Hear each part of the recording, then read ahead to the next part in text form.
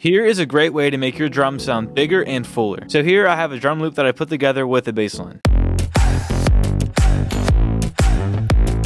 You can hear that it's just missing something and it's not really that full. So what we can do is add a layer of real drums.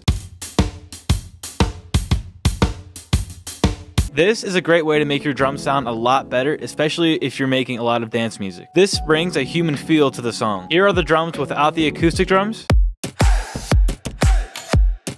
And here it is with.